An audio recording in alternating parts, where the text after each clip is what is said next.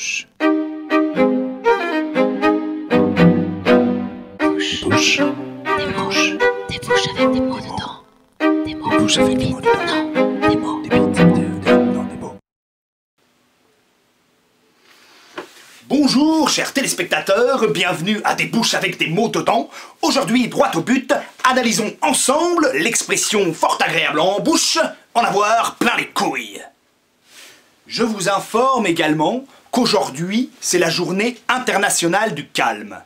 Nous allons donc nous efforcer de rester courtois et posés et d'éviter emportements et autres accès de colère. Mais revenons à nos moutons et dirigeons-nous immédiatement vers ce pourquoi nous sommes là. En avoir plein les couilles. Cette interjection puissante, vous en conviendrez, sert à faire passer un message à son entourage.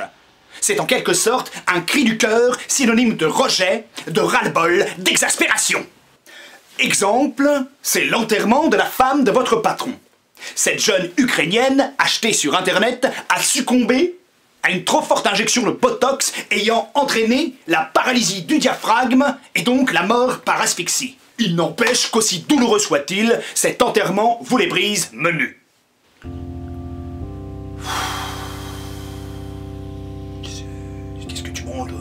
Tu restes pour la crémation Parce que moi là, euh, je vais me tirer, je vais plein les couilles quoi.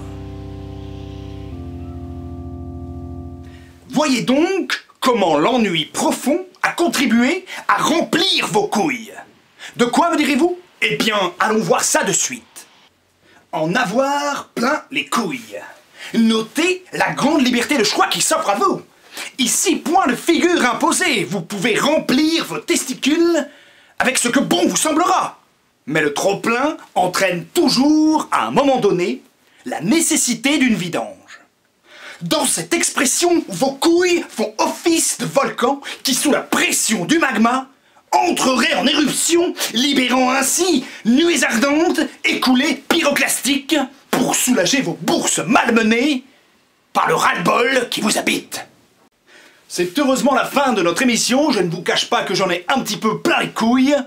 Rendez-vous donc très bientôt pour poursuivre ensemble la découverte des joies de la langue française. Bonsoir. Des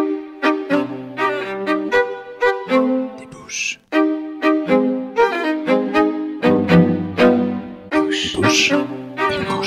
Des avec des mots dedans. Des